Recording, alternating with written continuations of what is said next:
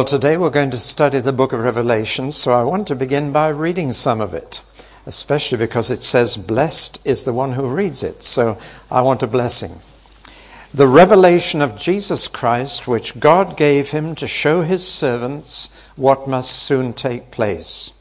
He made it known by sending his angel to his servant John, who testifies to everything he saw that is, the Word of God and the testimony of Jesus Christ. Blessed is the one who reads the words of this prophecy, and blessed are those who hear it and take to heart what is written in it, because the time is near.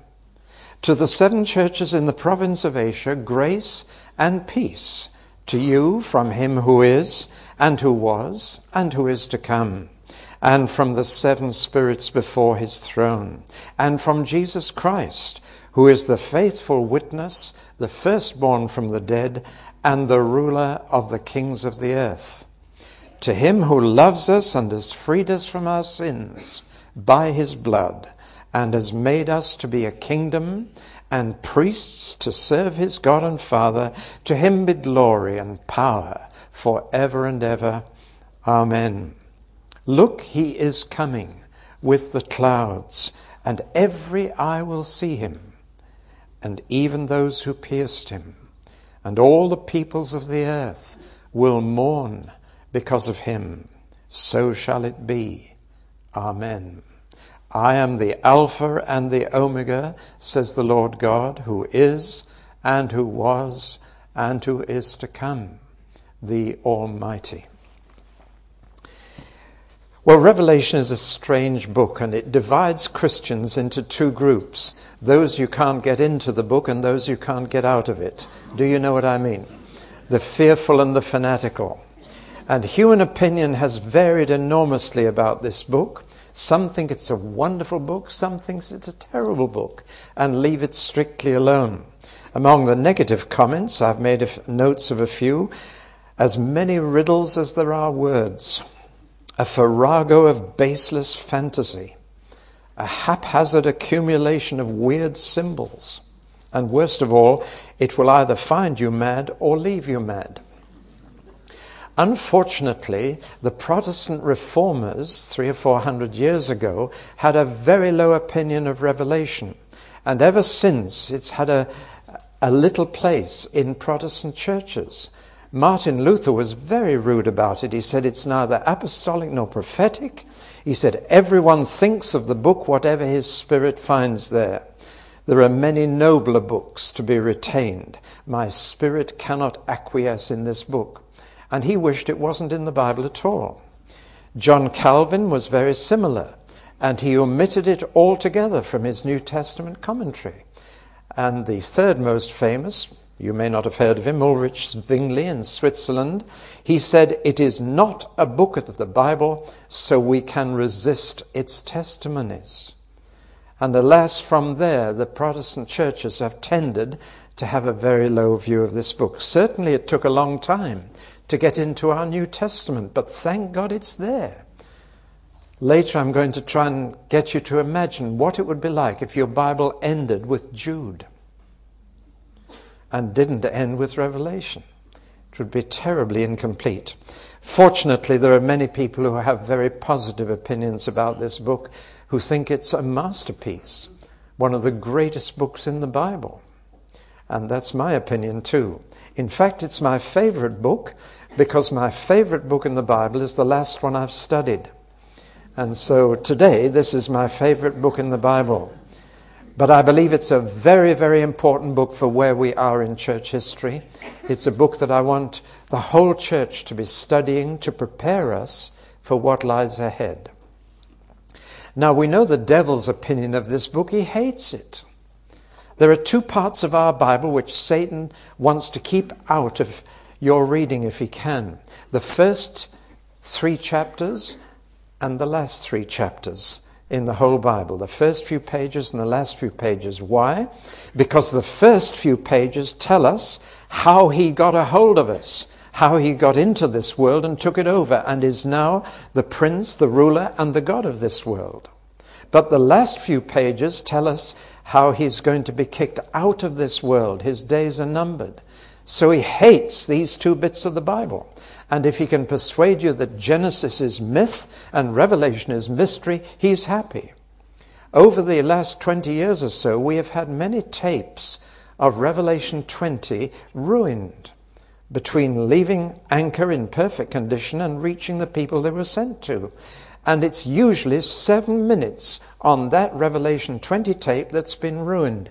And during those seven minutes, I talk about Satan's doom. So he's not very happy with you being here today. What does God think of this book of Revelation? Well, we know his opinion. He has a very high opinion of this book. It's the only one in the whole Bible that has a blessing at the beginning attached to those who read it and a curse at the end on those who tamper with it.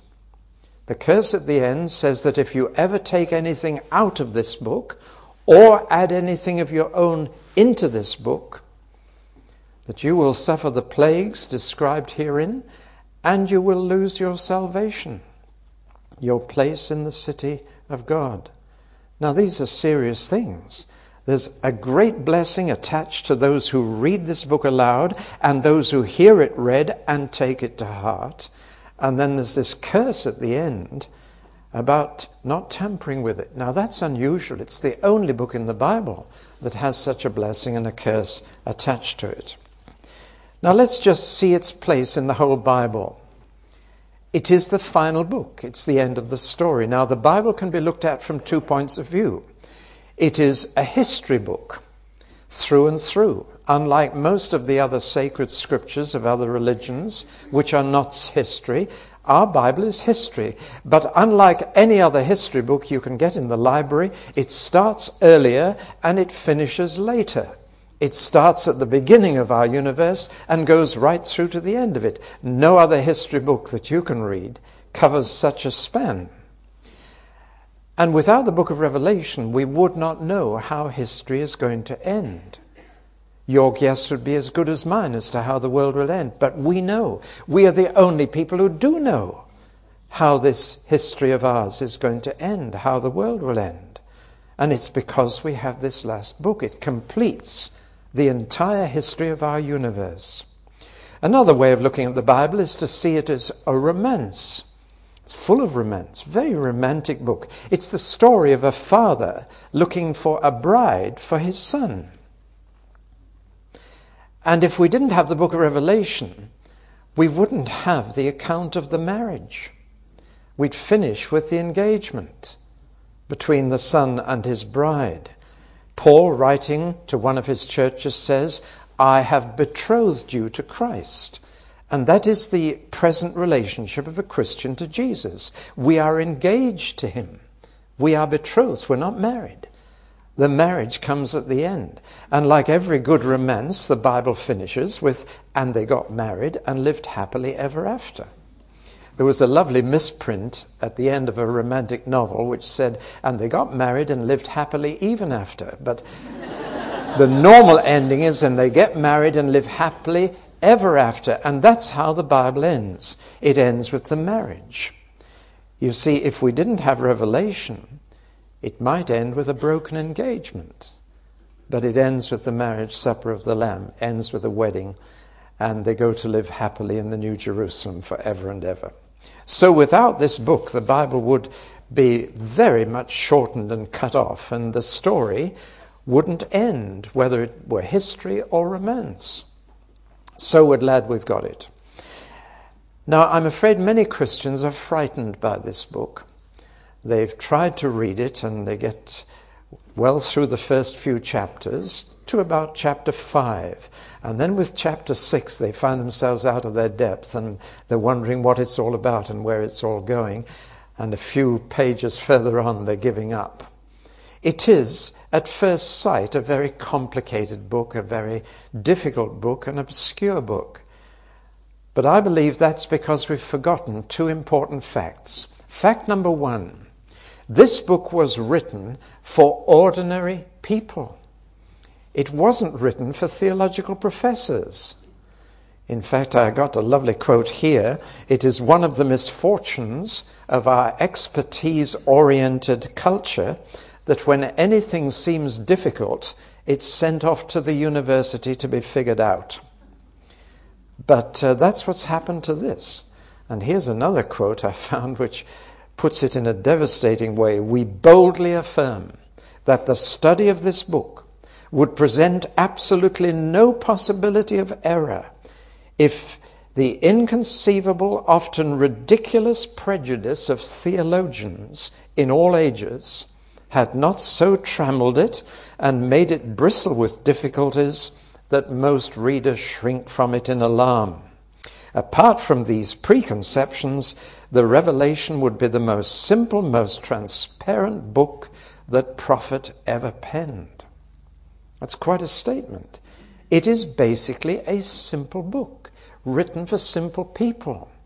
For the members of seven churches in what is now Western Turkey, and they were very ordinary people, not highly educated, not very noble, just very ordinary people, many of them slaves. And this book was written for them and would make sense to them.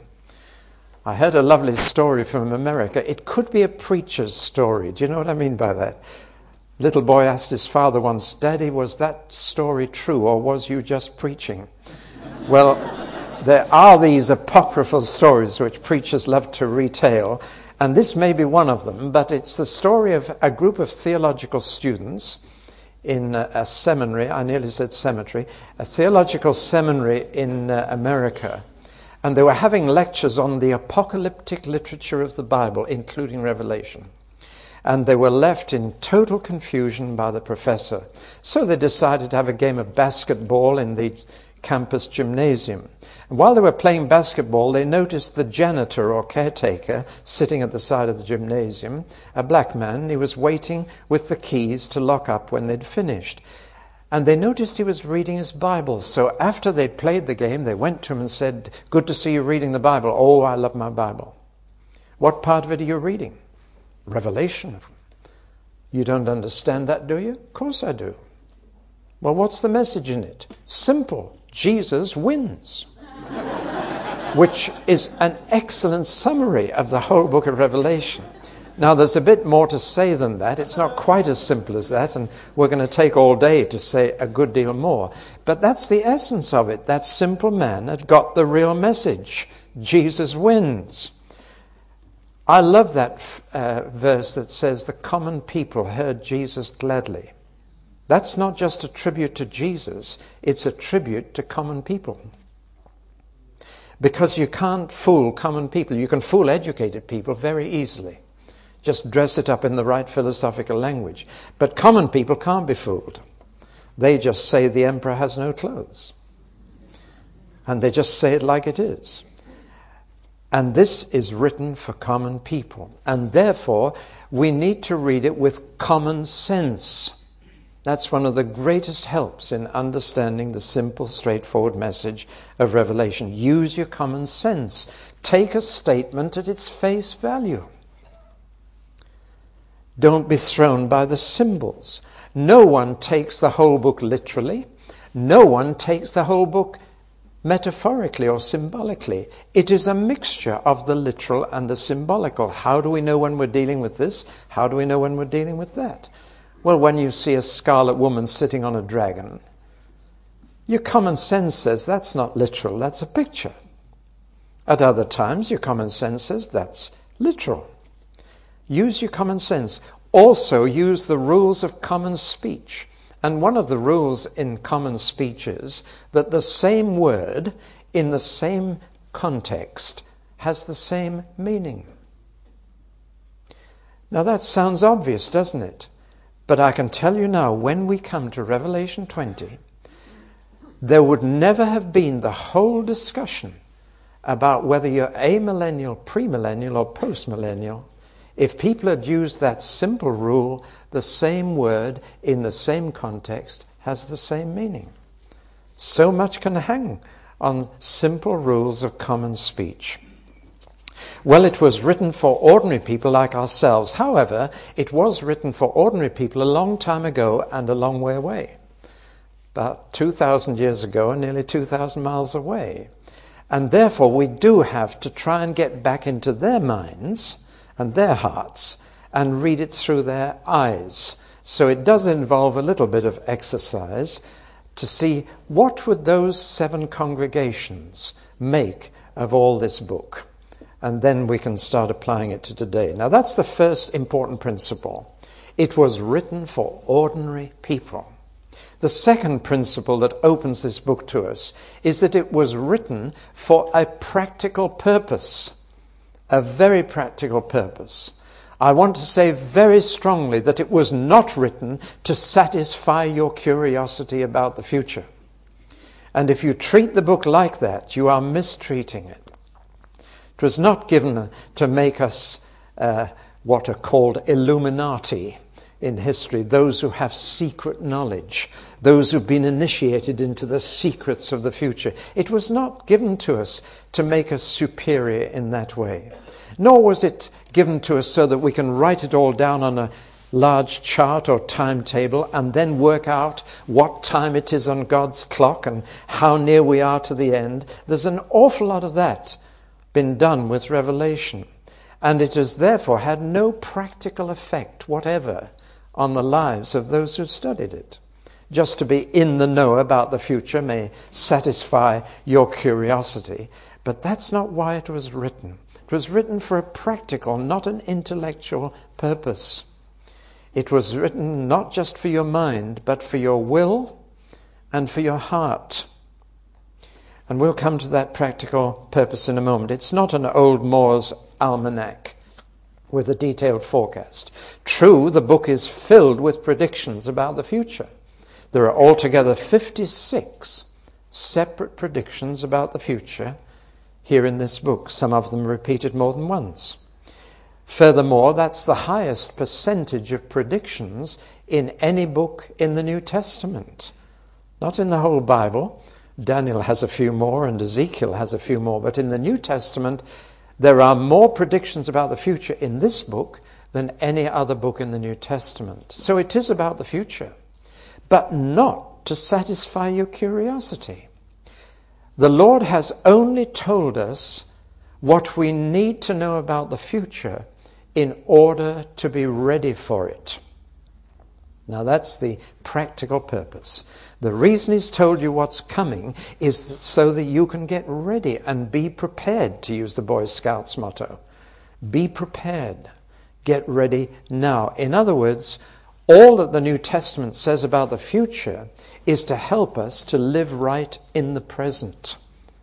And therefore, many of our questions about the future are not answered in the Bible all sorts of details. I'm sure some of you will want to ask me questions after today, and with a lot of them, I'll have to say, I don't know.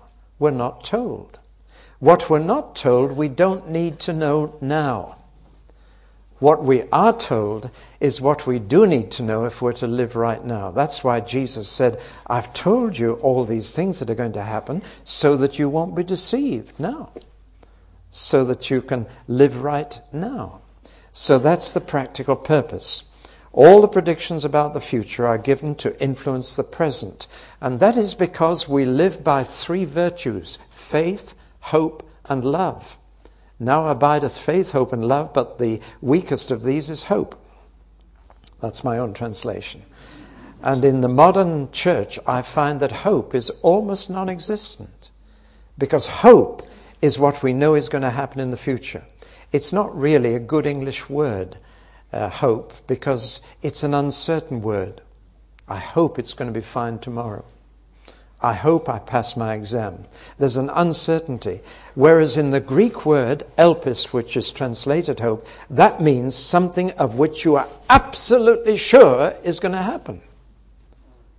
And that's a very strong word. And that's why it says hope is like an anchor to your soul what we know is going to happen holds us when the storm comes. And the very center of that hope in the future is the fact Jesus is coming back to planet Earth. And the whole book of Revelation is built around that fact. It begins and ends with notice of his coming. his second coming, his return to planet Earth. And that holds you like an anchor when the storm hits you. Jesus is coming back. That's the very center of our hope for the future. I have no hope in any politician. Yet every election is beginning to be messianic. Have you noticed? Every election is looking for a political Messiah who can put everything right and get us out of our troubles. And each time somebody wins, we think we've found him. Six months later, we're beginning to get a little disappointed, and a few years later, we're disillusioned. That's because there's only one Messiah. There'll be many false ones who claim to be, but there's only one coming back to put it all right. And one day Jesus will be back among us and he'll put it right. And among other things, he's going to kick the devil out. And until that happens, we're going to have trouble the whole way because we can't get rid of the devil. But he can. Well, now I'm jumping ahead right to the end, aren't I? Well, now the particular practical purpose for which this book is written may be found in one verse right in the middle of the book in chapter 14, and it's verse 12. And to me, that one verse, right in the middle of the book, opens up the whole book. Let me read it. This calls for patient endurance on the part of the saints who obey God's commandments and remain faithful to Jesus. This calls for endurance on the part of the saints who obey God's commandments and remain faithful to Jesus. This book of Revelation at the end of the Bible is written specifically for suffering saints. And this may be why we have such problems with it, because we're not suffering. But Christians in many, many parts of the world are suffering and dying for Jesus. And for them, the book of Revelation is as plain as day. You almost need to be a suffering saint to understand this book, and we're not.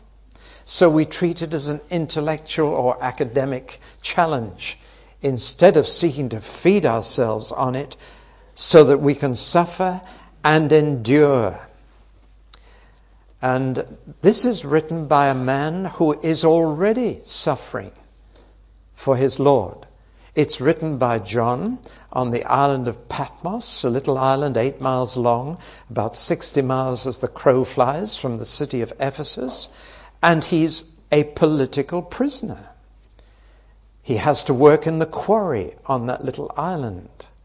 And there he is. Uh, I've got a picture of it, I think, here. Let's, let's just look at the. Uh, right on the top of the highest hill, of the island, there is now a monastery, the Monastery of St. John.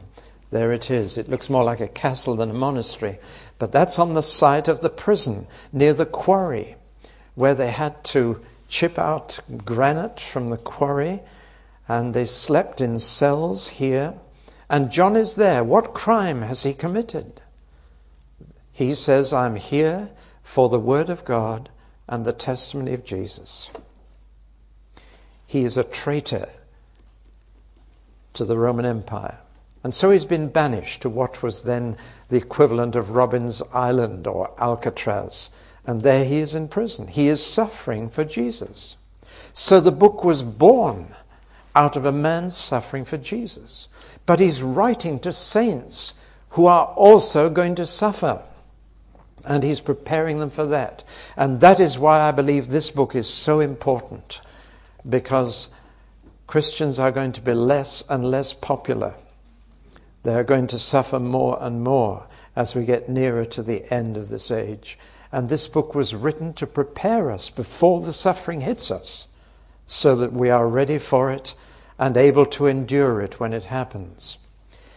Now, John was writing this book in that prison in Patmos on the Lord's day the Lord's Day, not a Lord's Day.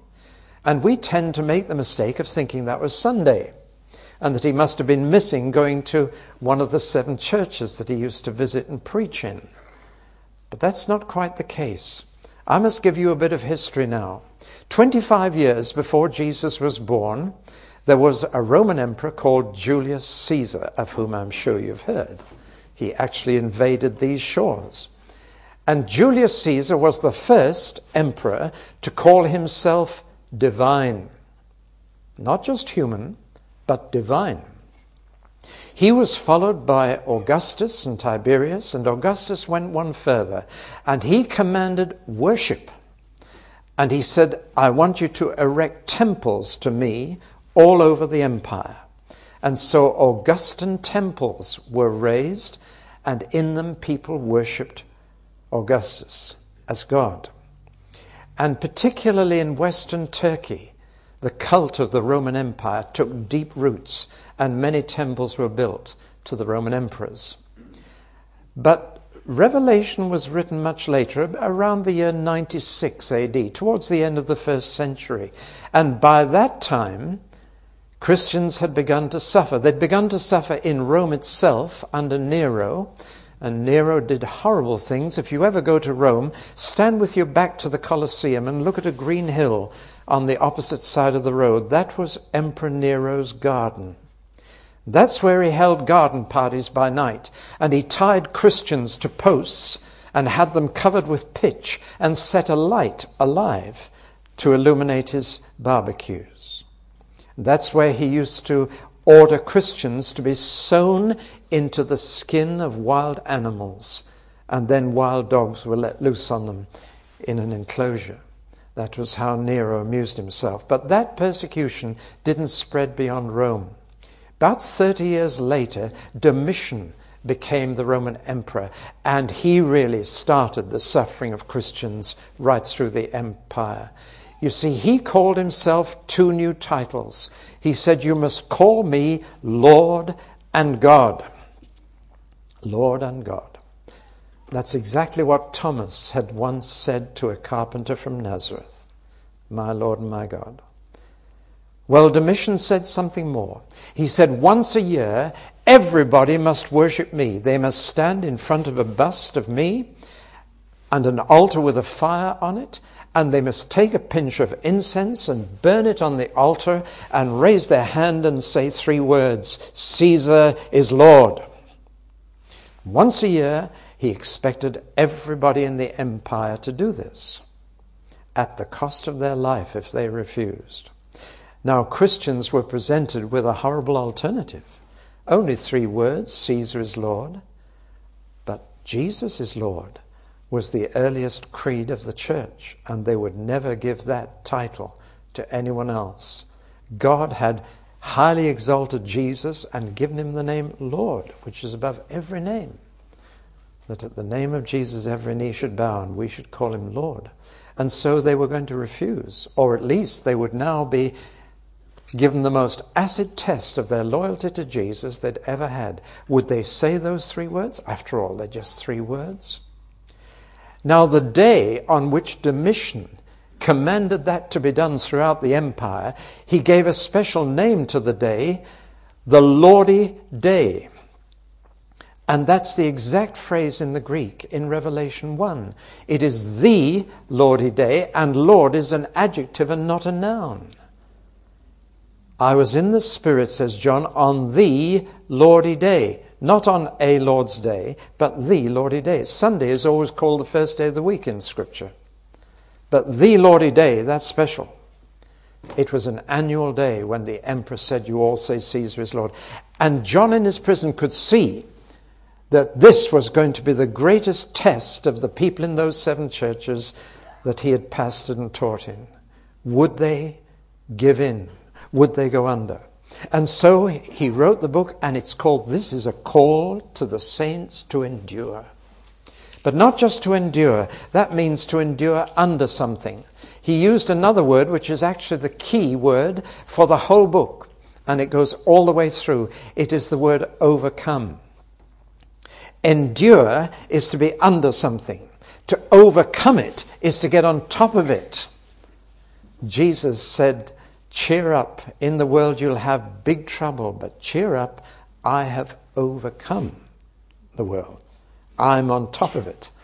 When I asked a friend of mine, How are you? he said, I'm very well on, over the circumstances, which is a neat Christian answer. And so this book is a call to be overcomers, not just endure under this pressure, but get on top of it, come out victorious. Be, as we sang earlier, more than conquerors. To be on top of the situation and not under it. To that end, the book offers two kinds of incentive, both positive and negative. The positive incentive is offered all the way through in terms of rewards for he who overcomes. Those who come out on top will get one reward after another. And here are just some of them. I'll list them. The right to eat from the tree of life in the paradise of God. The right not to be hurt at all by the second death the right to have the hidden manna and the white stone with a secret new name on it, the authority over the nations to rule them, to be dressed in white, to be made a pillar in the temple of God, never to go out again, and the right to sit with Jesus on his throne. All these are positive rewards offered to believers who overcome when they're under pressure, who get on top of it and come out victorious. At one point, Jesus says in this book, He who overcomes as I overcome, as I overcame and sit on the throne of my Father, he who overcomes will sit on my throne with me. In other words, Jesus doesn't ask us to do anything he hasn't done himself first. The negative side is what a believer can lose if he doesn't overcome but goes under when the test comes. And this is the most serious note sounded all the way through that book. It comes in chapter 3, verse 5, where Jesus says this He who overcomes, I will never blot out his name from the book of life. Literally, the verb is never scrape off his name. They used a penknife to scrape ink off parchment to erase a name. And Jesus said, He who overcomes, I will never erase his name from the book of life. What does that mean in simple common sense English for those who don't overcome? Quite simply, it means their name can be rubbed out, scraped off the book of life. In fact, the book of life is only mentioned in five books of the whole Bible, but all but one of those talk about names being rubbed out of the book of life right at the end of Revelation, remembering that this is a book written for saints, not sinners. It's not written for unbelievers. It's written to seven churches, to believers. At the end of the book comes this extraordinary verse after describing the new heaven and the new earth and the new Jerusalem coming down out of heaven. It says this He who overcomes will inherit all this, but the cowardly and the faithless and the immoral and the deceitful, their lot will be in the lake of fire, which is the second death. Now, that's not written to sinners, it's not written to unbelievers, it's written to believers. And it ties in with Paul's and Jesus' teaching elsewhere. Here's Paul's teaching If we died with him, we shall also live with him. If we endure, we shall also reign with him. But if we disown him, he also will disown us. And that's a quote almost direct from Jesus himself, who said, Whoever disowns me before men, I will disown him before my Father in heaven. Now, this, of course, raises the question once saved, always saved, a cliche which never appears in Scripture though some believe it stands for what appears in Scripture. However, may I just recommend you to read my little book, Once Saved, Always Saved, question mark, in which I point out that of all the warnings about hell that Jesus gave, all but two of them were given to born again believers. And those two were given to Pharisees. Jesus didn't talk about hell to sinners. He did talk about hell a lot to his own disciples who had already left all to follow him. And Revelation, therefore, is written for this very simple purpose to keep Christians' names in the book of life so that they do finish up in the heavenly city and the new heaven and the new earth. That's the very simple uh, reason for which it's written, a very practical reason. It holds before us, this book, two eternal destinies which are held in the front of the believers, of the saints, of the members of those seven churches in Asia. One destiny is to be resurrected and reign with Christ and share in the whole new universe. The other destiny is to lose our inheritance in the kingdom and finish up in everlasting torment. And I fear lest having preached to others I be cast away myself. I fear hell. That's why I can talk about it. I could never say, Blow you, Jack, I'm all right. You're a sinner going to hell and I'm a saint going to heaven. No, this book reminds us that when Jesus comes, he's not looking for those who profess faith, but for those who kept faith, to whom he can say, Well done, good and faithful servant. It's the faith we finish with, not the faith we start with, that ensures our place in heaven. That's the practical purpose of the book, not just to unveil the future so that you know what's coming, but so that you can be ready for it. And just to give one little example, this book tells us that things are going to get much worse before they get better, that there's going to be big trouble at the end, great tribulation. But one of the comforting things in that book is this that that great trouble, the big trouble, the worst of all, will only last three and a half years, 42 months, or 1,260 days. The Lord couldn't have made it more clear. But the contrast with that is reigning with Christ on this earth for a thousand years. The whole book is saying, don't throw away that for this when you're under pressure, when it gets really bad, when the going gets really tough. Hold on to the future and all you've got to look forward to, and don't risk losing that, but remain faithful to Jesus. This is a call for endurance on the part of the saints who keep God's commandments and remain faithful to Jesus. That's why we read the book.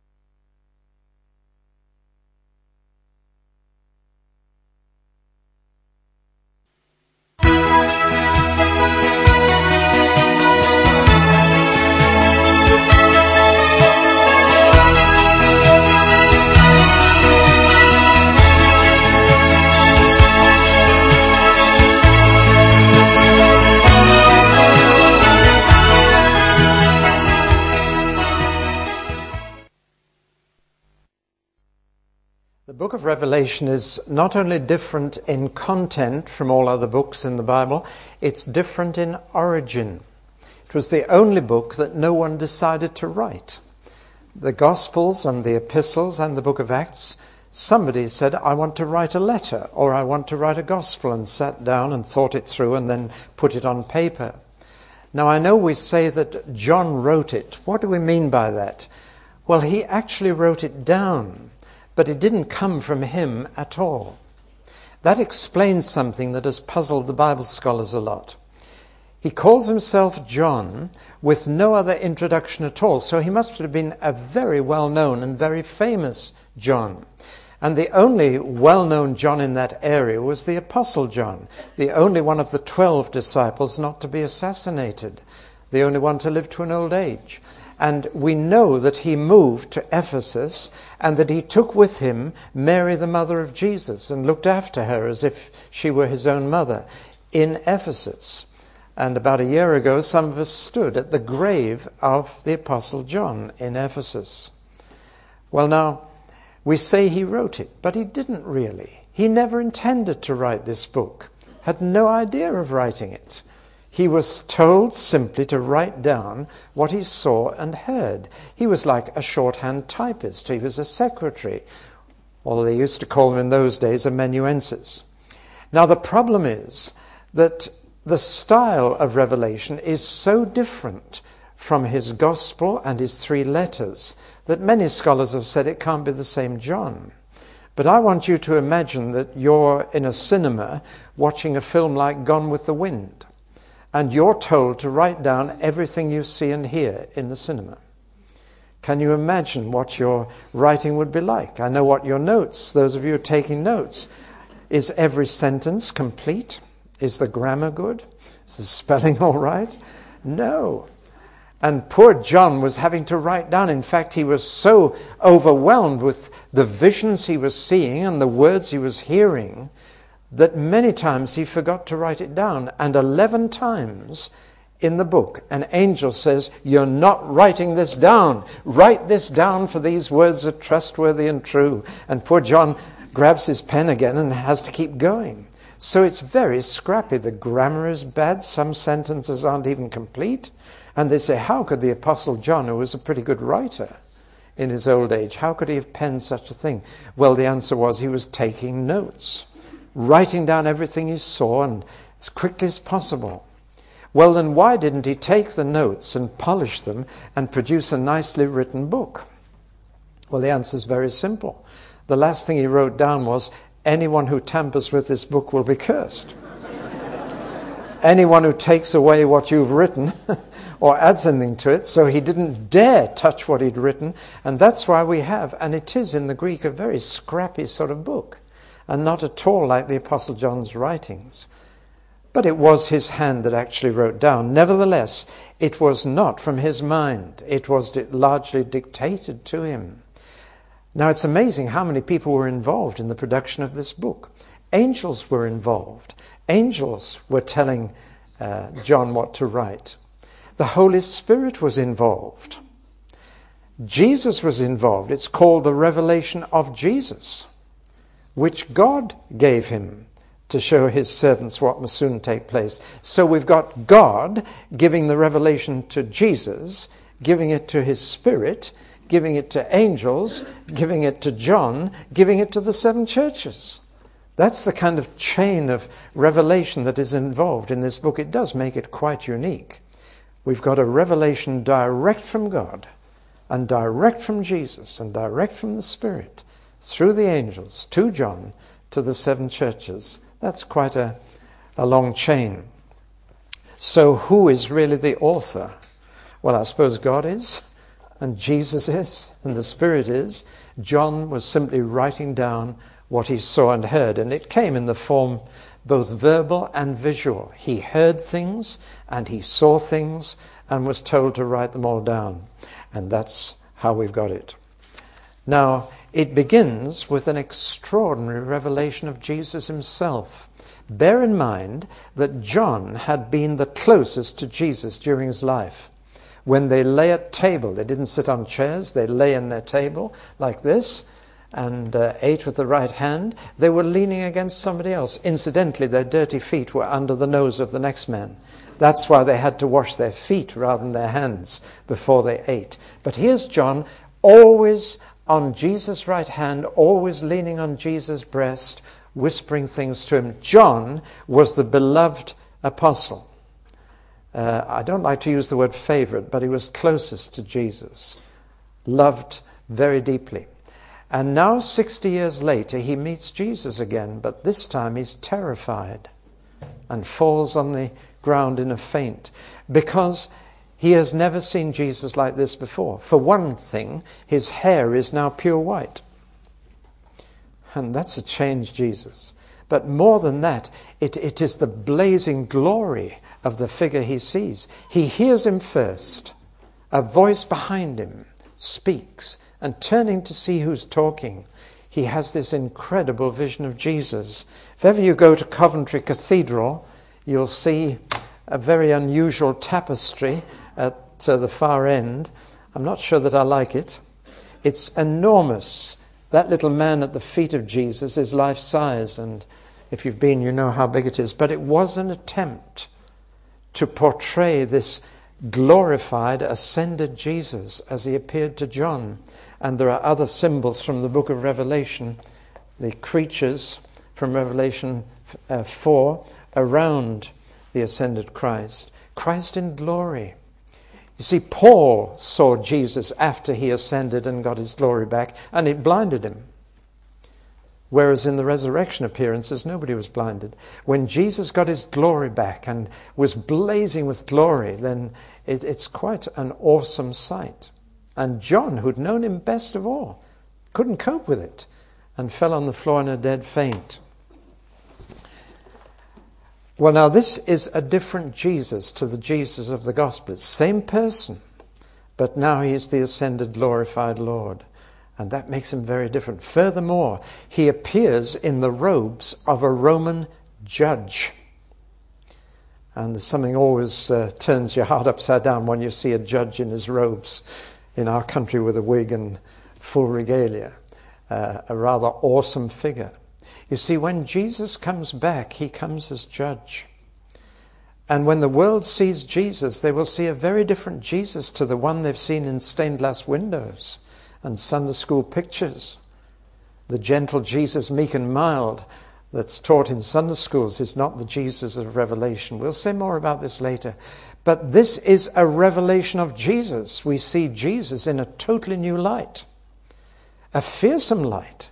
In fact, in chapter 6, it says that the people of the earth, the kings, right down to the slaves, will pray that the mountains will fall on them and swallow them up rather than look on the face of this Jesus and his blazing eyes, blazing with anger at what we've done to his Father's world.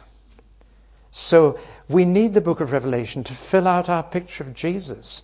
And there are many, many brand new titles of Jesus in this book. Some titles, even which are given to God in this book, are later given to Jesus, like Alpha and Omega. And here we have Jesus presenting himself in a new light. As you probably know, he has 250 different names and titles, more than anybody in history, and it's a good devotional exercise to write them down. You'll get stuck about 35, but there are 250 titles of Jesus. Many of them come out of this book he shows himself in a new revelation of himself. And each title shows us something more about him. I am the first and the last. I am the living one. I was dead, and behold, I am alive forevermore, and I hold the keys of death and Hades. I am holy and true. I am the Amen. I am the faithful and true witness. I am the ruler of God's creation. I am the lion of the tribe of Judah. I am the root of David. I am faithful and true. I am the root and offspring of David. I am the bright morning star. I love that one. If ever you're up early enough to see the last star before they all disappear, it's low down near the horizon and it's very bright. And it's the last one still to be shining. And I just love to say to myself, when all the film stars have gone and when all the pop stars have gone, there'll be one star still shining. That's the meaning of that lovely title, The Bright Morning Star. But above all, there is one title in this book King of Kings and Lord of Lords. And I add President of Presidents and Prime Minister of Prime Ministers, because that's what it means. He's the ruler of all rulers. He's Tony Blair's ruler. He's the King of Kings, the Lord of Lords. So the book begins with this awesome picture of Jesus, but it also begins with a picture of Jesus in very close contact with the churches on earth, walking among them, walking around them, having a good look at them holding the lampstands in his hand. And here we have the first few symbols in the book stars, seven stars, seven lampstands. But there's no problem. They're all explained. The lampstands are the churches, and the stars are the angels of those churches. Just as every child has an angel reporting back to Father what lies are told to children. Jesus said it's better for you not to have a millstone round your neck and be thrown into the sea than tell a lie to a little one because their angels behold the face of my Father in heaven. But each church has an angel looking after it too. And uh, that comes out clearly here. We need to remember that. One day you'll meet the angel of your church. And uh, whenever we worship, we're surrounded by angels. when anybody asks me, you know, how many were at church Sunday morning, I want to say thousands. Thousands upon thousands. We just joined in with the heavenly worship.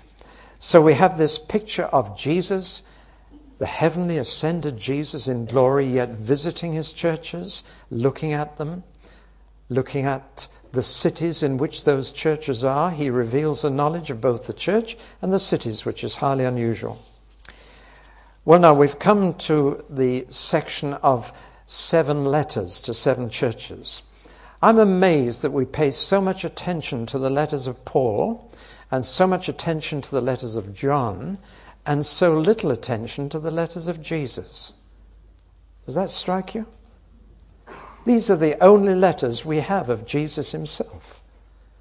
And we should pay, I think, even more attention to them because they are from him to these seven churches. But we've got to ask why did Jesus write these letters to those churches? What's so special about them?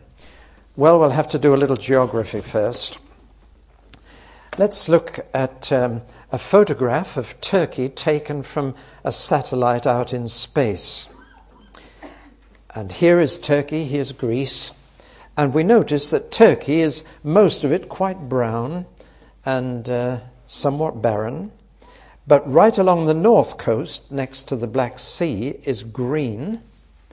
And then there's an exception to that twofold colour. Down in the bottom left hand corner, the southwest corner, there is a green circle. And it's formed by a number of rivers running direct from these hills out to the Aegean Sea and bringing fertility to the valleys. So, can you see that, those of you near enough? a green circle down in the bottom corner. All the seven churches are within that circle. It's a very important circle. It's a meeting place between the Western world, centered in Rome, and the Eastern world of China, Africa, India. It's a melting pot of culture, of Roman culture, of Greek culture, of pagan culture. It's a melting pot of politics, it's a melting pot of religion. It is an extraordinary little area. And there is one further thing that shows how important it is to Jesus. Here is the circle of the churches, and uh, the letters are in order Ephesus, Smyrna, Pergamum, Thyatira, Sardis, Philadelphia, and Laodicea. Here's the main road from the west to the east of our world. But it splits at Pergamum. One goes down the coast through Ephesus, and one goes inland through Thyatira, and so on. They meet up again at Laodicea and carry on to the east. This little circle, this fertile circle, is where everything met. Furthermore, and this is the most important revelation in the book, Satan, being a creature rather than a creator, can only be in one place at once. He goes to and fro in the earth, but he also has a headquarters, a residence somewhere in the world. I don't know where it is today. I could guess, but I don't know. But he has a residence from which he makes journeys around the world. He can also have access to heaven too, and he goes up there as well. But he has a residence on earth, which is the center of his kingdom, the capital. And in this time, at the end of the first century, his residence was in Pergamum. That's where Satan lived on the earth and resided. And when Jesus wrote to the church at Pergamum, he says, I know where you live, where Satan resides. The word resides means a permanent residence, where he stays, where he dwells. Now, Satan clearly saw this area, this circle of cities at the meeting point of West and East. He saw this circle as crucial to his kingdom. And uh, when some of us went round this area, we saw the remains of the culture, incredible culture, and the religion, the temples. This is a key area and there were little churches in each of these seven places, a kind of circuit of churches based on Ephesus, and indeed from Ephesus, most of the others had been planted where John was. And Ephesus, we know more about that church than any other in the whole New Testament. And look at the ministries it had. It started off with Apollos, then um, couple Priscilla and Aquila. Then it had Paul, then Timothy, and then John. Few areas had had as many apostles or ministries as this little area. Here was the battleground. It is the end of the first century. The churches are now into their second and third generation. And they are now being planted right in the heart of Satan's kingdom and worldly culture and pagan religion. It is the crucial test. If the churches survive here, they will survive anywhere. If second and third generation Christians can overcome with the pressures here, then the church will go on right to the end. So Jesus is watching this little circle of churches very closely. So much hangs on it. Have I conveyed the, to you the very focus? And Satan has his residence here. The interesting thing is that the condition of the churches is almost in direct ratio to the distance from Satan's residence two nearest to Satan are corrupted from the inside with idolatry and immorality. The next two further out are persecuted but are coming out on top, and Jesus has no criticism for them. The two furthest away, namely Ephesus and Laodicea, are not troubled by Satan at all. They're just losing their first love or growing cold. Isn't that interesting? Satan is right inside the churches near at hand, and he's got idolatry and immorality right inside those churches. A bit further away, he is persecuting them through Jews, and they're having a tough time, but Jesus has no criticism for the two persecuted churches. But the two furthest away from Satan, they're just growing cold. They're lukewarm, they're neither hot nor cold, or they're losing their first love. It's an amazing picture that emerges from these seven letters. But I think you can see how crucial this area is to the future of the church in the second and third generation, because second and third generation Christians are not always as enthusiastic or as dedicated as the first generation converts. We all know this with our children. They've got to come to the same enthusiasm and zeal for the Lord as their parents have. So, second, third generation Christians, churches, tiny little groups of people meeting in houses and halls under this dreadful domination of Greco Roman culture, pagan religion, and above all, Satan. If you go to Pergamum, there's a huge, steep mountain towering over Pergamum itself, and on the top of the mountain are libraries and temples, and one of them in particular was the Temple of Zeus. And it's like a huge armchair, massive U shaped temple. And in the courtyard was an altar which was constantly burning black smoke. You could see from the city of Pergamum right above you this horrible temple with the black smoke constantly rising from it, which uh, Jesus calls Satan's throne. And there's a picture of it, but it's not in Pergamum now. I, that picture is from East Berlin, uh, a museum called the Pergamon. And in fact, this was taken, the altar of Zeus, taken from Pergamum and re erected in Berlin. And you can see it there. It is massive. That little black dot there is a full size human being and uh, this massive armchair like that. Can you see it? That's Satan's throne. Turkey wants it back, and there are Christians in Berlin praying that it may go back. But um, it is not Satan's throne now, it's an empty chair. But that was in Pergamum here, and uh, Satan resided right there. And can, he loves heights, does Satan. He loves to be on top of a mountain surveying the kingdoms of the world he was when he tempted Jesus in that way. So you can see that this is why Jesus wrote these letters to this particular place. I'm not going to say an awful lot about the letters because I've said an awful lot on a double video. Here's the commercial coming. But uh, last year we went out with the uh, film crew that we've got here today, and we went out and we went round the seven churches. And uh, the, this double video has all the letters translated and explained and expounded in full detail. So I'm not going to go through an awful lot of detail in this series, but let's just look at each letter. There are seven letters to seven churches, and almost everything in the book of Revelation is in sevens, right the way through. Seven trumpets, seven seals, seven bowls of wrath. Seven is God's perfect number, it's the round, complete number. What falls short of God is six. And six, six, six is a trinity of falling short of, of God.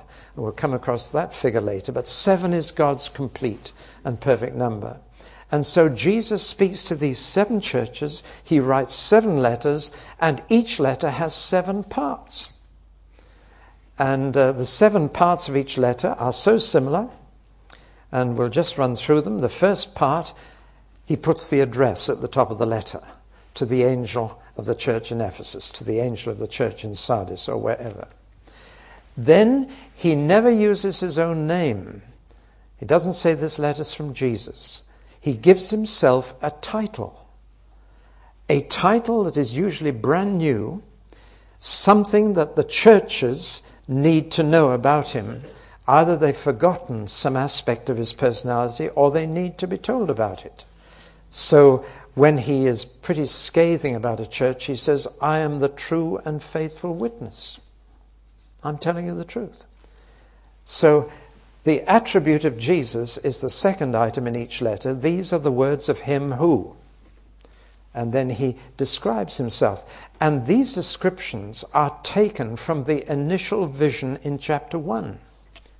So, having shown himself in glory to John, he now picks things out of that vision and applies them to each church individually.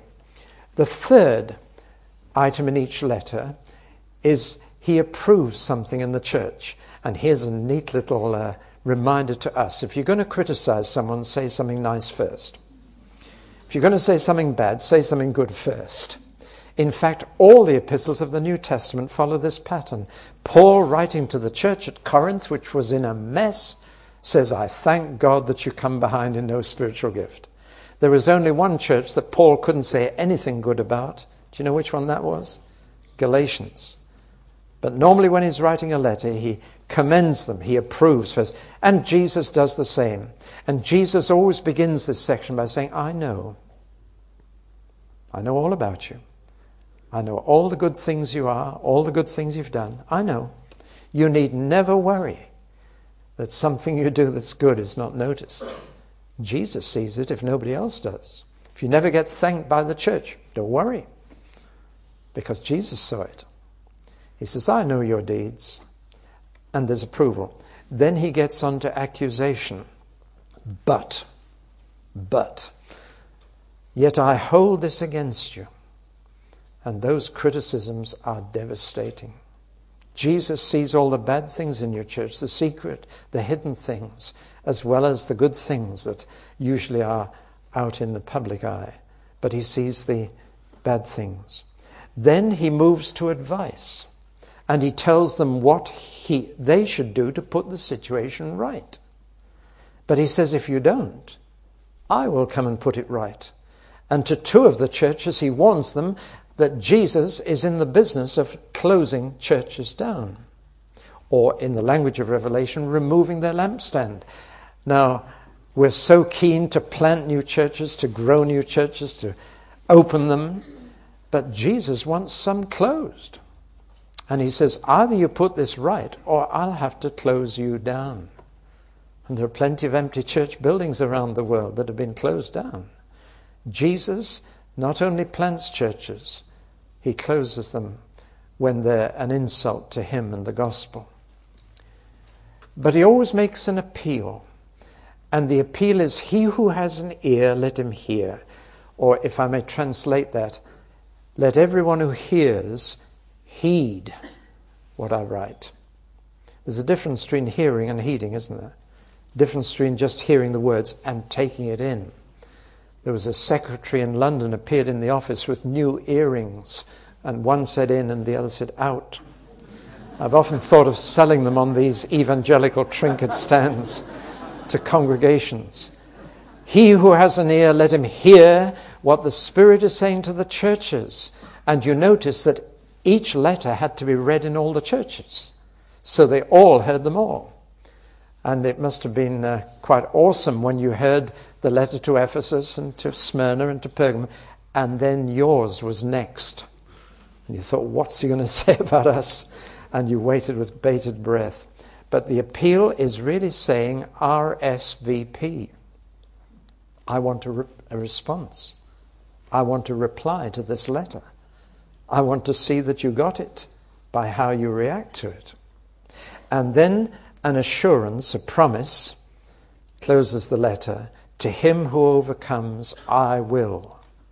Now, notice that that assurance at the end is not given to the church, it's given to an individual within the church.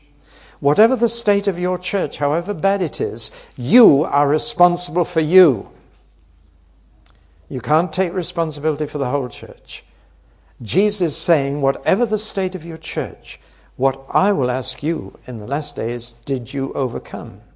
It also tells us that the first place we have to overcome is inside the church, not outside.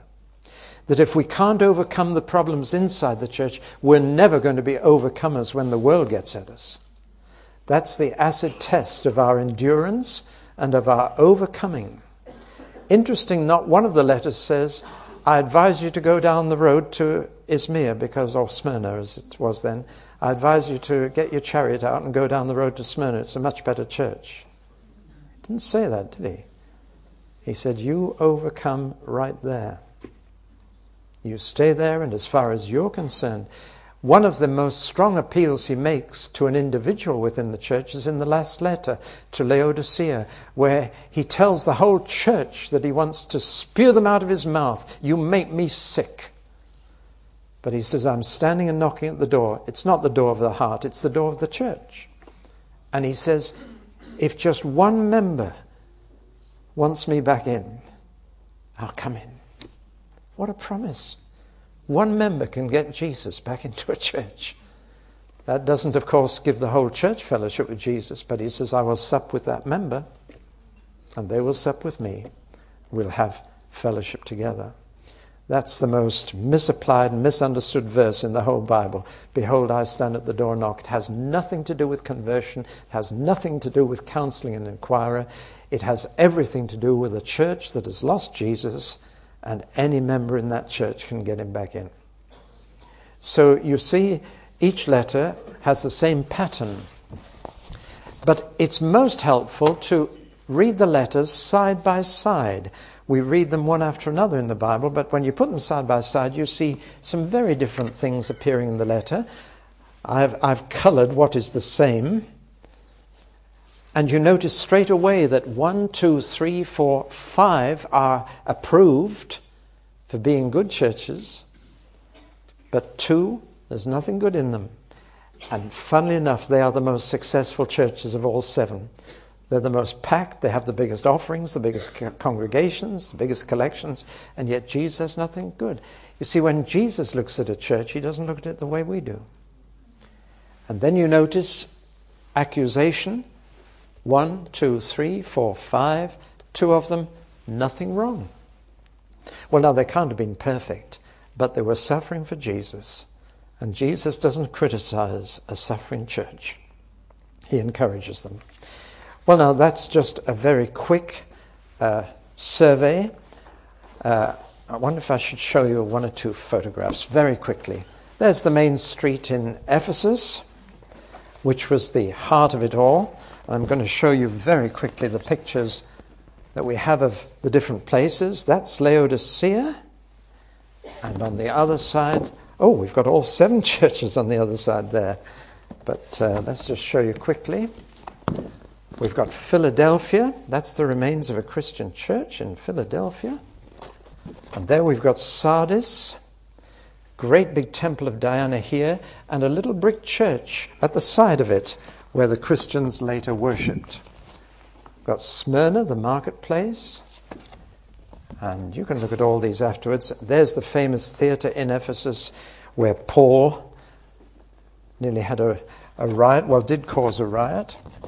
There's Thyatira, and finally Pergamum. And it was on top here that we had this temple of Zeus, the residence of Satan. Well, that's just given you a little flavor.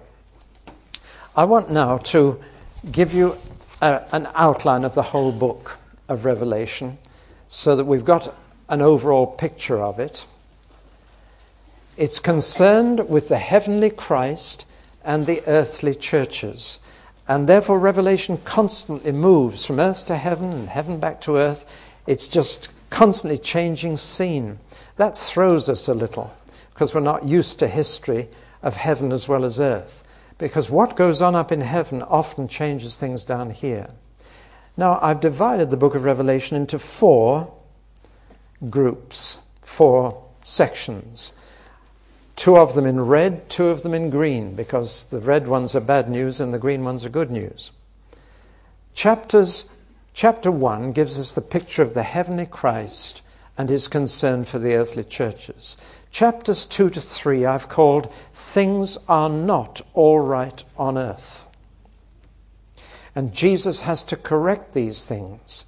They live in a corrupted world in that part of uh, Asia and a compromised church, compromised in its beliefs and compromised in its behavior. Idolatry and immorality have crept in, other things are happening. Those are the two major problems, even within the church.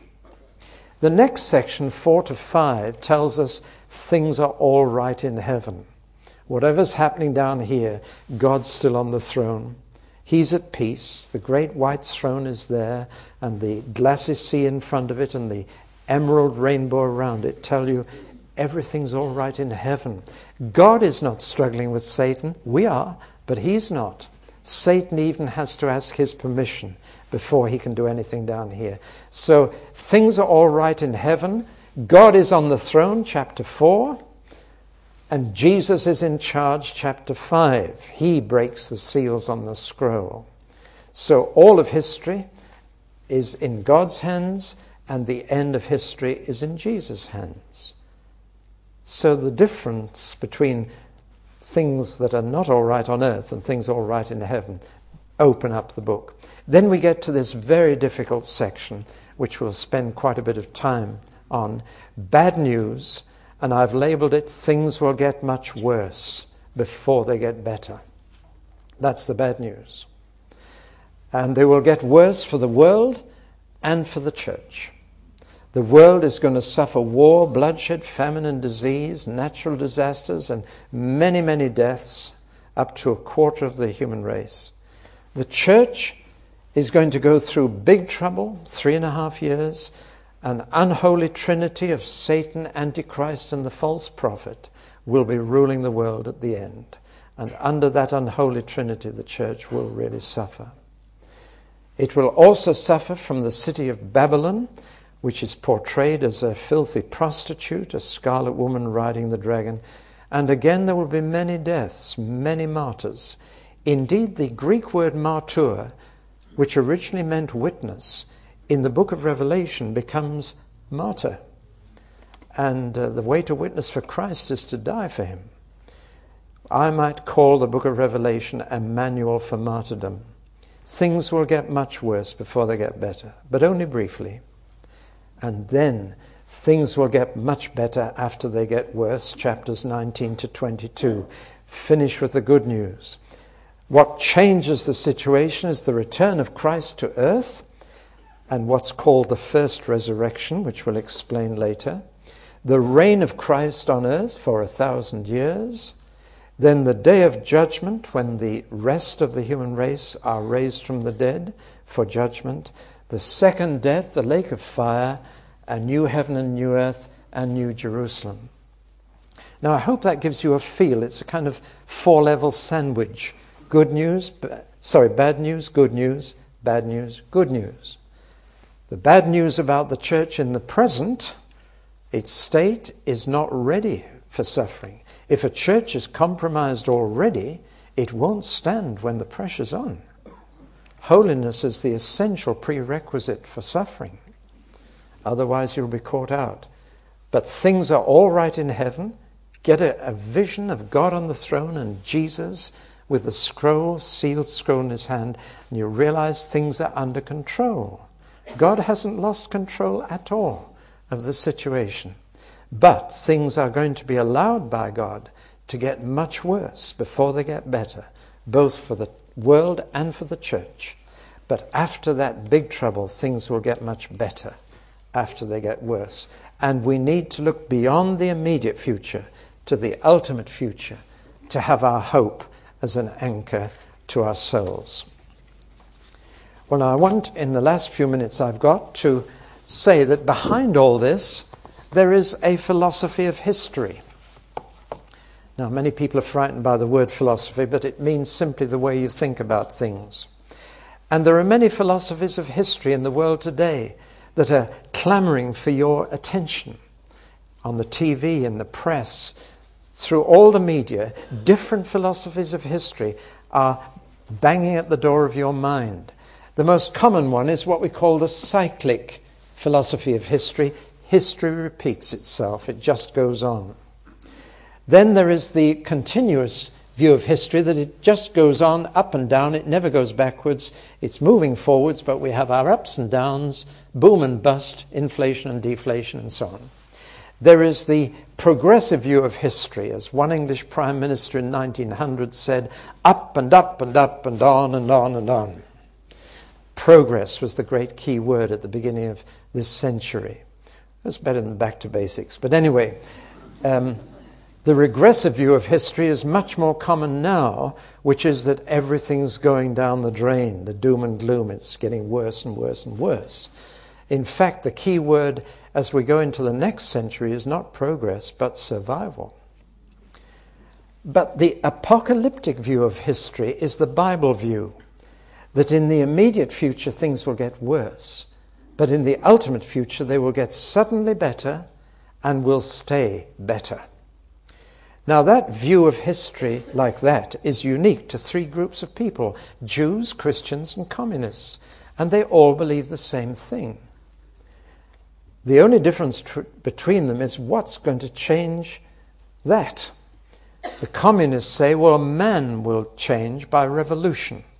The struggle between the proletariat and the bourgeoisie will come to a head. There'll be a revolution, and we'll have the classless, crimeless society after that. But communists are now getting disillusioned.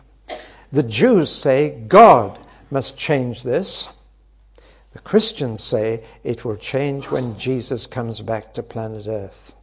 Things will get worse until Jesus gets back, and he will make them better and keep them better after that. So here we have a philosophy of history based on the book of Revelation, Jews, Christians, and communists all got it from the same place, from the Hebrew prophets. But that is the Christian view of history. The immediate future, worse. Suddenly, the ultimate future, much better. And the change will come when Jesus gets back.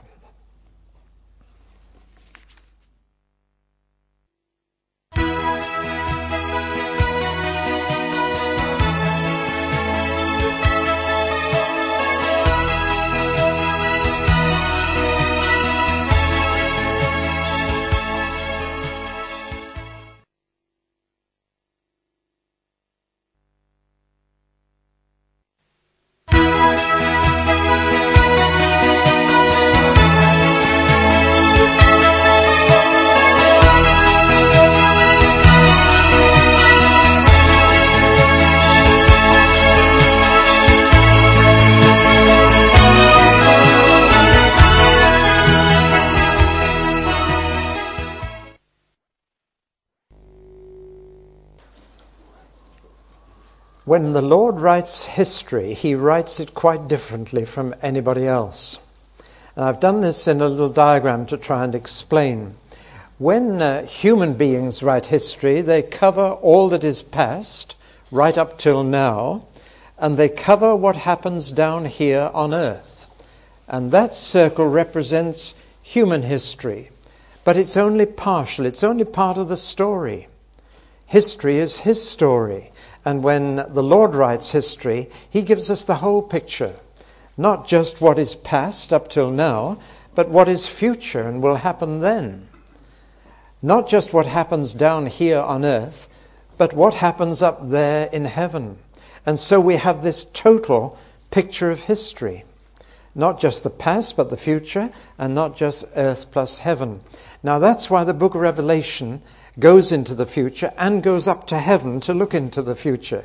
So we're constantly up in heaven, down on earth, up in heaven, down on earth. And what happens up there affects down here. For example, when Satan is finally thrown out of heaven in chapter 12 of the book of Revelation, he comes down to earth frustrated and angry, full of fury, to vent his worst down here. And that's when Antichrist and false prophet appear. So, normal historians don't realize that what happens up in heaven is all part of the picture. And what happens in the future gives light to the past. And we get the whole total history from the book of Revelation. We call this apocalyptic history. The word apocalypsis in Greek means unveiling, to draw a veil away, to draw a curtain away. And the two curtains that are drawn away in the book of Revelation are the curtain that hides heaven from us and the curtain that hides the future from us. And until those two curtains are removed, we cannot possibly get the total picture. So God unveils the future and He unveils what's happening in heaven so that we get the total understanding uh, of His history, His story. Now, moving on from there, just to give a very brief overview of chapters 4 and 5. Chapter 4 I would entitle The Creator and His Creatures. And it's a magnificent scene, it beggars description this beautiful rainbow, white throne, glassy sea, and some rather weird creatures, four of them, representing all God's creatures, are praising God and worshipping Him. From chapters 4 and 5, we get a tremendous number of choruses and songs and hymns which we use in worship because they're just full of worship. The book of Revelation is not only full of art, it is full of music as well full of singing, full of songs, songs of praise. So in chapter 4, John is invited to come up to heaven. Though his body is still in prison on Patmos, his spirit is up in heaven, seeing heaven itself and seeing the beauty, the color, and above all, the security of it, the peace of it. God is sitting on his throne. Little girl went home from Sunday school with a new chorus she'd learned. God is still on the phone. She sang all the way home. Well, it's a nice thought and it's true, but the truth of Revelation 4 is God is still on the throne. God has not surrendered any of his sovereignty to anyone. He is still in total control of Satan himself and of everything that goes on. Nothing can happen without God's permission. He is on the throne. History is not out of control. You might think so reading your newspaper, but read Revelation 4, and you know that God is still there. He is sovereign. Everything is happening according to His plan or according to His permission. Could be either. Well, now that's the picture in chapter 4. There are 24 elders, and that figure is significant throughout the book of Revelation. Whenever you see 24 elders, or 24 this, or 24 that, we're looking at the representation of 12 tribes of Israel and 12 apostles of Jesus.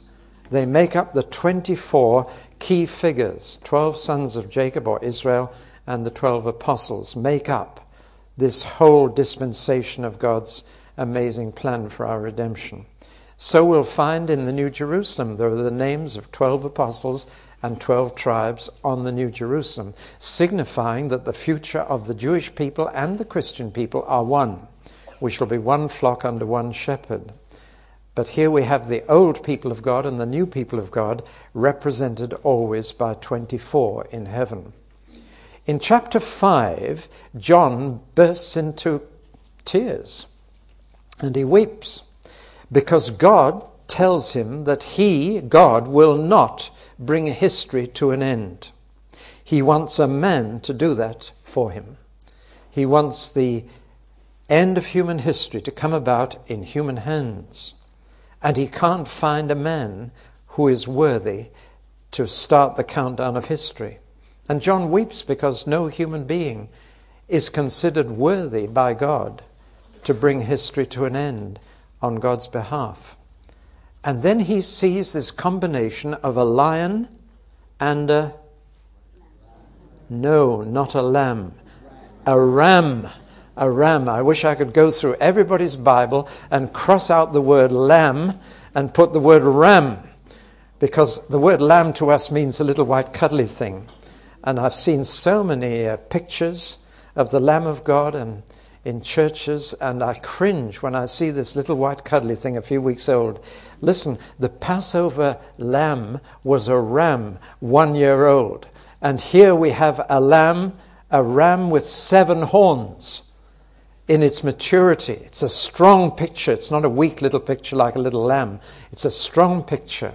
You wouldn't like to be shut up in a room with a seven horned ram one year old.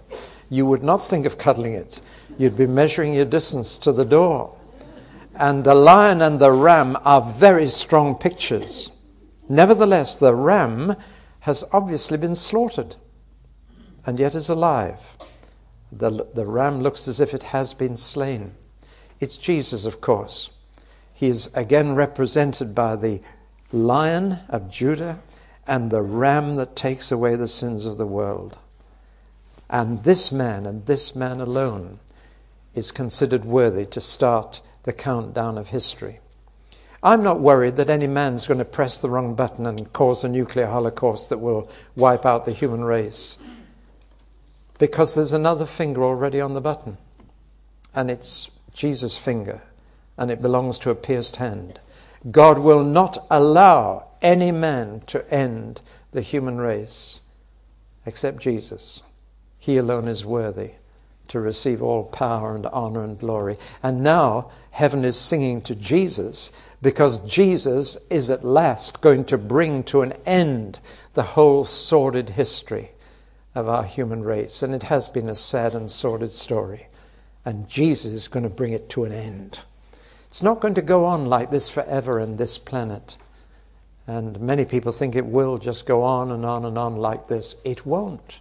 It's got to stop one of the reasons why God uh, gave us a sentence of death for rebelling against Him was that He would not allow any of us to spoil His universe forever. So He put a limit of years on our life precisely to stop us polluting the environment morally and materially forever. And so God has limited us, but He has also set a limit to the history of the whole human race. It will come to an end, and yet the end will be a beginning. Now, those are chapters 4 and 5, but now we come to chapters 6 to 16, the heart of the book of Revelation, and the worst part. Uh, it's bad news. I love the honesty of Jesus. He was always honest with us.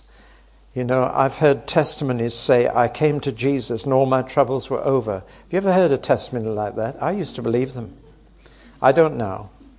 My testimony is just the opposite. I came to Jesus in 1947 and my troubles began. Got baptized in the Spirit a few years later and my troubles got worse. And I've been in more trouble in the last 10 years than in the previous 30. And some of you know that. But cheer up, says Jesus. He promised us trouble. So my life has fulfilled his promise. And he told us that there's going to be big trouble, great tribulation. Paul did the same. He told his converts, through great tribulation, you will enter the kingdom. We should be honest when we're leading people to Christ. You're heading for trouble. You will now become a social misfit. You will become a stranger, a pilgrim, a sojourner passing through. You will no longer belong to the world into which you were born. You are now part of a new human race. You're no longer Homo sapiens, you're Homo novus. That's Latin for new man. Because in Christ there is a new creation, you're a new human race, and you don't fit in this evil world anymore. Present evil age will not like you. It's the quickest way to be unpopular to follow Jesus. In fact, he said he cursed anybody when all men speak well of you, which is quite a thought. Trouble. In the immediate future, we're in for trouble and big trouble. And here's a bit of good news for you nothing worse will happen to you than is described in chapter 6 to 16 of Revelation. Jesus has told us the worst.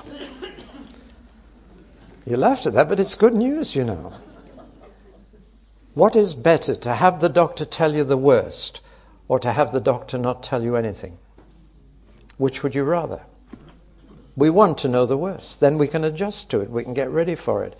Well, Jesus was honest enough to say to these seven churches and through them to us, things are going to get bad, very bad, towards the end of this age. And so in chapter 6 to 16, we have a series of troubles which together constitute what we call the big trouble or the great tribulation. And they come in three series of sevens. There are seven seals, then seven trumpets, then seven bowls. Without at the moment asking how they relate to each other, let's just run through them so we know what they are. And we notice straight away that the seven seals, each seven divides into four, two, and one. The four belong together, the two belong together, and the one stands on its own. We notice also that the seventh in each case is a worldwide earthquake, is exactly the same, but the six are different. Now let's just take the first four seals, for example. There are four horses. Common sense tells you these are not real horses, these are pictures, symbols. And the symbolism is in their color white, red, black, and green. But we are also told what those colors mean. White is a symbol of military aggression. Napoleon rode a white horse. Most military conquerors have ridden white horses. Military aggression. The red horse is the symbol of blood. Military aggression inevitably leads to bloodshed. What does bloodshed lead to? The black horse, that we're told is the color of famine. In fact, human flesh tends to go that color when in malnutrition. Black is the color of famine. What follows famine? The green horse, the pale green, is the color of disease, pestilence, plague. Now, here we've got four horses military aggression, bloodshed, famine, disease. They're already riding through the earth in local areas. I could name at least a dozen areas where those four horses can be seen. Military aggression has shed blood, has led to famine and disease. Well, now, those four horses will ride through the earth before the end of history, though they're riding locally now. Seal 5 talks about Christians, believers, being persecuted and praying to God. How long, Lord, will this go on? How long will you allow your people to suffer and die? I don't suppose most of you know that last year over 350,000 people died for Jesus. There are more martyrs in our day than there have ever been before. People dying because they're Christians. That's going to be quite fierce towards the end. For unbelievers, the sixth seal reveals tremors in different parts of the world and terror on the part of unbelievers, an atmosphere of fear. And finally, the seventh seal silence in heaven, but a great earthquake down here. Now, that's just the seals. It seems as if these disasters intensify as we go into the trumpets and later into the bowls. They become shorter in time, but fiercer in nature. And they change from human disasters or disasters that have a human cause to natural disasters when the environment itself becomes anti human. And so we have the first four trumpets reveal a scorched earth, a dry earth short of rain, a polluted sea, which is no longer able to support life, contaminated water on land, contaminated sources of drinking water, and reduced sunlight, presumably due to some change in the atmosphere. Those are natural disasters where these were caused by human factors. Here are some natural disasters. We have an insect plague as the fifth trumpet, and then a strange one an invasion from the Orient, from the East, of a gigantic army, hundreds of thousands of soldiers coming from the direction of China into the Middle East. And then finally, Trumpet 7 announces the arrival of the kingdom of God, when the kingdoms of the world become the kingdoms of our Christ and of his God, and accompanied by an earthquake again. Then we move into the bowls, and now these seem to become even more intense with an outbreak of boils or cancers on the skin of human beings, the sea turning into blood. Well, it did that off the uh, South American west coast not long ago. Did you see the pictures? The whole Gulf Stream, or whatever it's called, down the west coast of Latin America went blood red. But uh, just for a short time, but it was for hundreds of miles. Well, that's going to happen to all the oceans. Blood from the springs, the springs on land turning into that kind of color. And fourth bowl, burning by the sun. Too little sun here, too much there. The fifth, darkness, natural light going.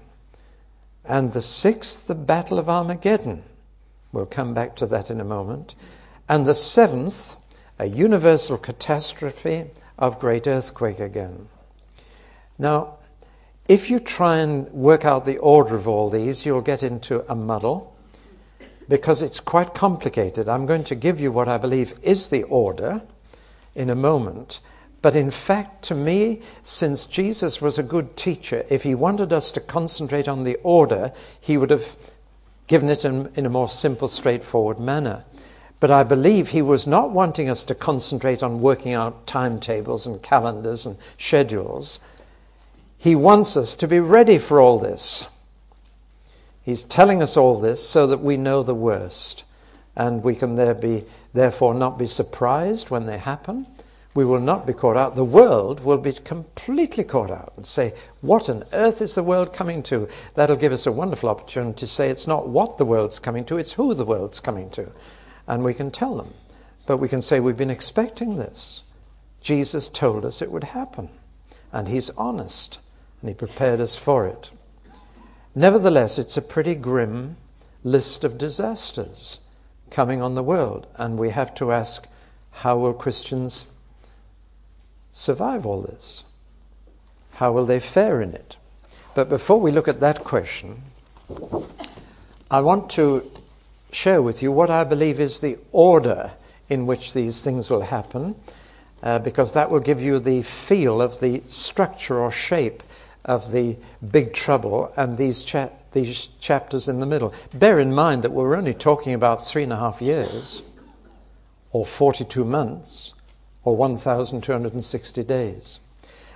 Now, there have been three suggestions as to how these seals, trumpets, and bowls fit together. In the book, they just come one after the other, but is that the way they will happen? Well, one view is that it will be successive.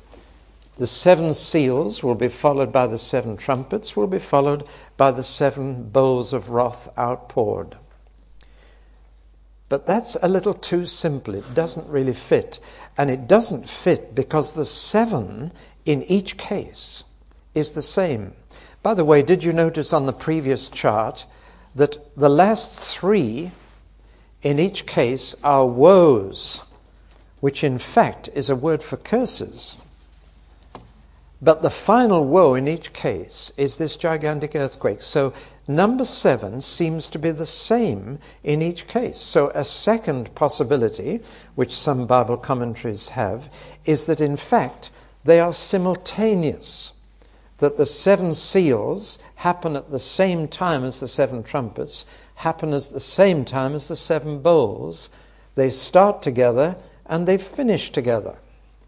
So they're all happening at once. Again, that doesn't seem to fit. And you have to force the scripture somehow to fit either pattern.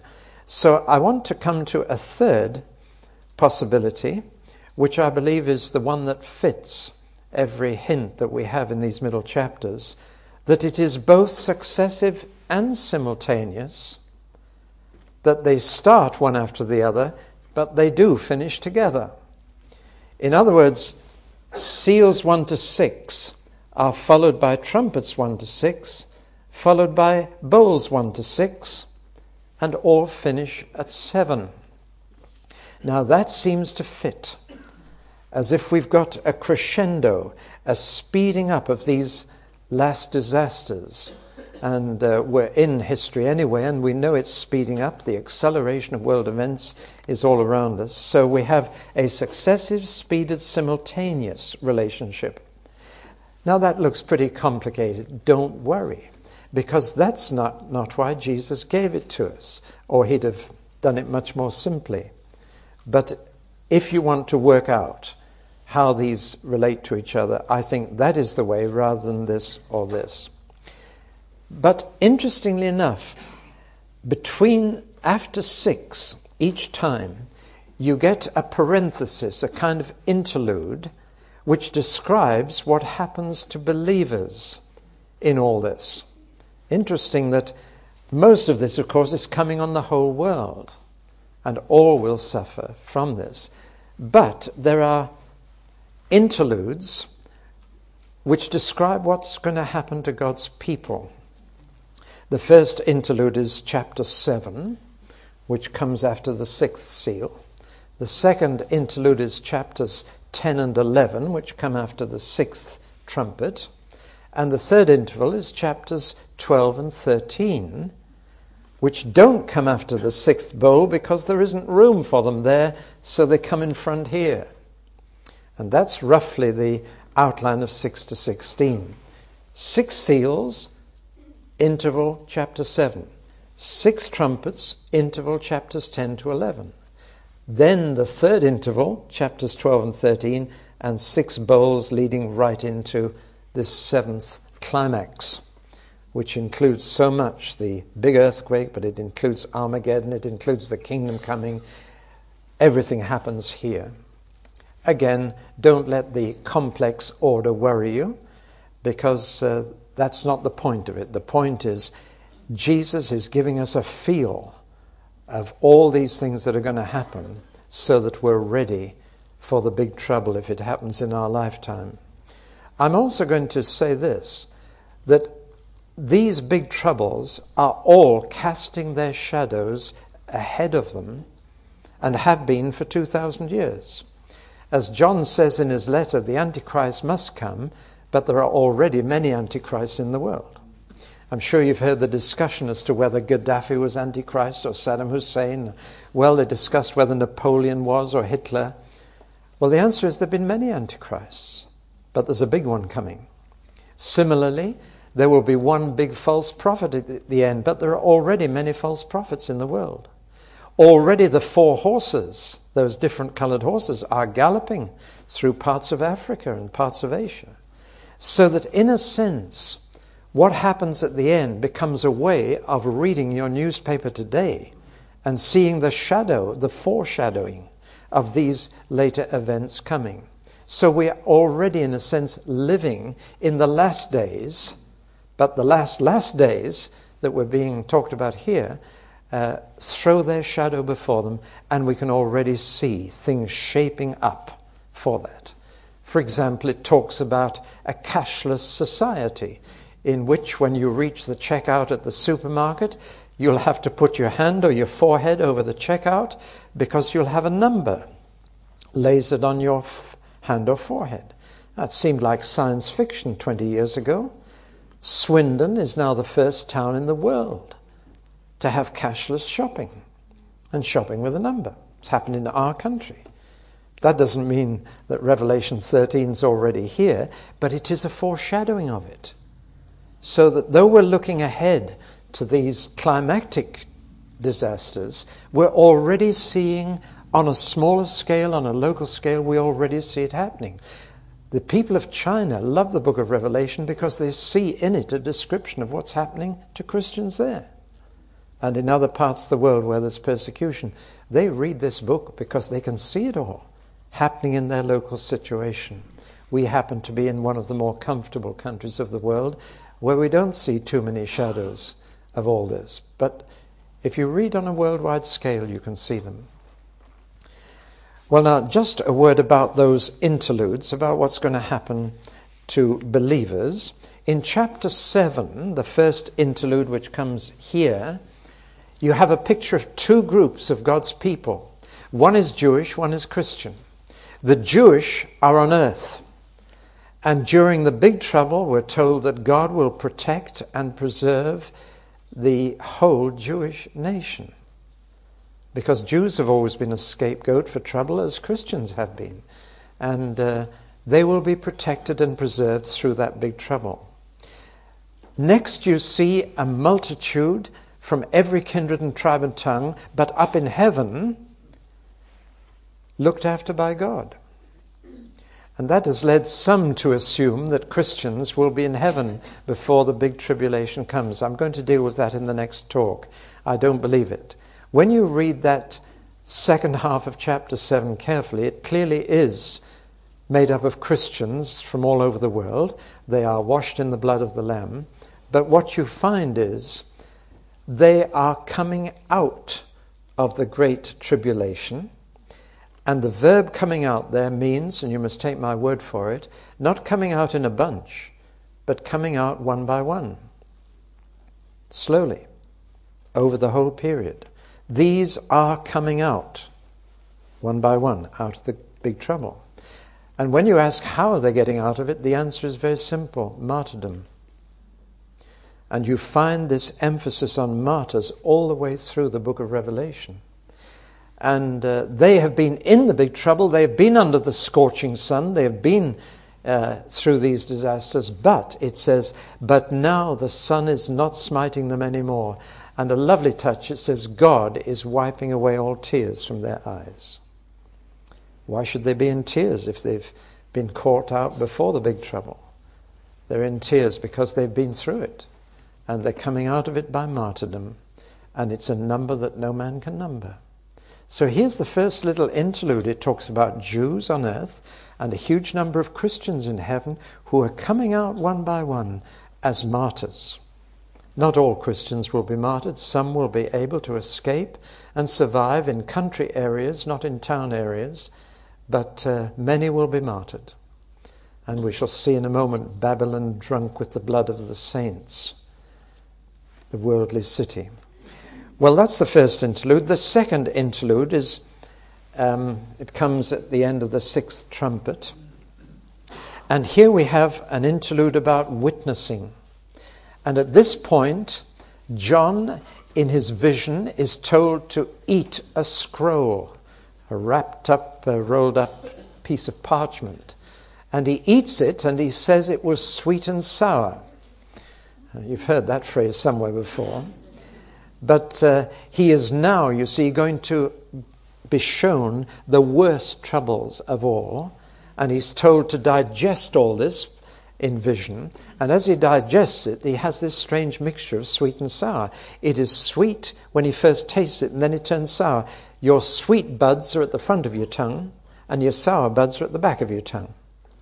And sweet and sour pork pleases your whole tongue. You get the sweet at the front and the sour at the back. And uh, John says that's what I feel like when I'm chewing through this bit.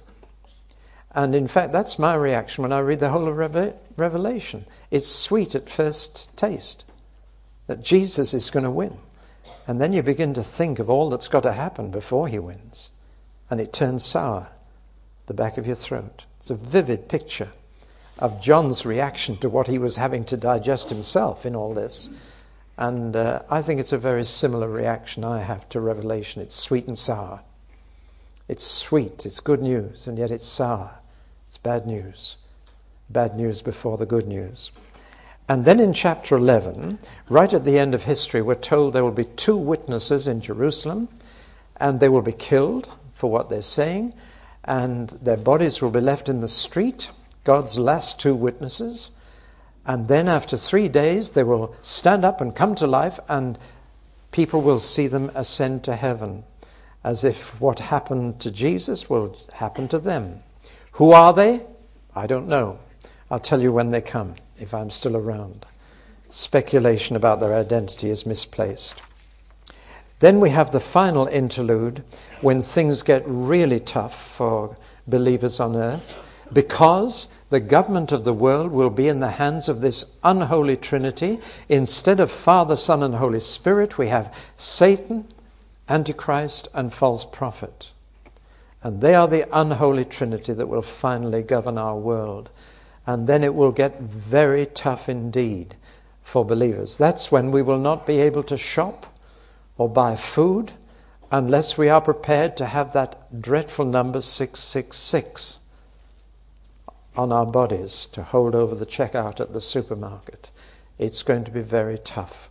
The false prophet will even do miracles, satanic miracles, to bolster the regime of this dictator, this antichrist.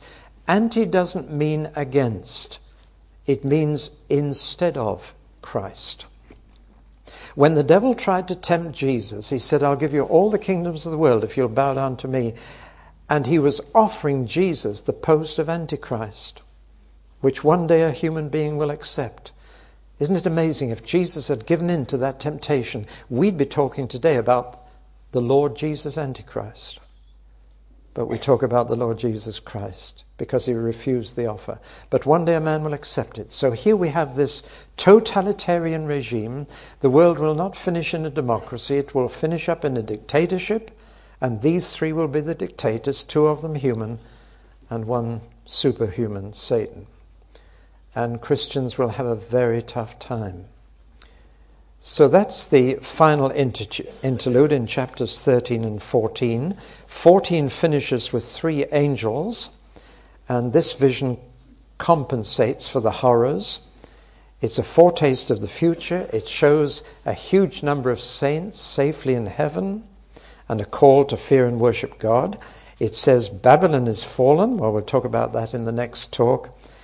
And it finishes with a, a warning to believers, to saints, that they could finish up in hell. That it may mean martyrdom to stay faithful to Jesus. But it says this write down, said the angel John, write down, from now on, blessed are those who die in the Lord for their deeds do follow them. That's often read at funerals, but it's really a verse about the last days when people are dying not of natural cause, but dying for Jesus. Blessed are those who are martyrs in the last day.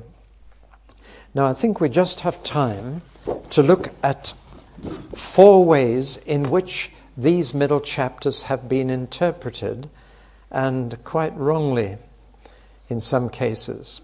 But when you pick up a book on the book of Revelation, you'll find it usually follows one of these four schools of interpretation. And the real nub of the question is these disasters, when will they happen? When are these predictions fulfilled? And there are four different answers from the scholars. And I want to run through them because it complicates books about Revelation, and you will come across these, and you might as well know about them. They're given horrible labels, and uh, the four schools of interpretation of this big trouble are the preterist, the historicist, the futurist, and the idealist. And they're all answering the single question when will these troubles happen? And the preterist says they have already happened. They are all concerned with the fall of the Roman Empire under which the seven churches of Asia lived. And therefore, to us today, they are all over and done with. They are historical to us, they're in the past. They belong to the first century AD and into the second and maybe third. Babylon in the book of Revelation sits on seven hills. And so they say, well, that must be Rome because Rome was on seven hills. That's the preterist, and it interprets the whole book in the light of the Roman Empire and therefore treats it all as past in the first centuries AD. The historicist believes this middle section covers the whole period of church history between the first and second coming of Christ and unfolds a complete church history. And they love to take chapter 6 to 16 and something like the Cambridge Modern History in six volumes and lay them alongside each other and read, read off the history of the world over 2,000 years. But actually, that is very difficult one. You really have to force it to fit. Against the first one, most of the disasters listed in 6 to 16 never happened in the decline of the Roman Empire. So I can't believe that one.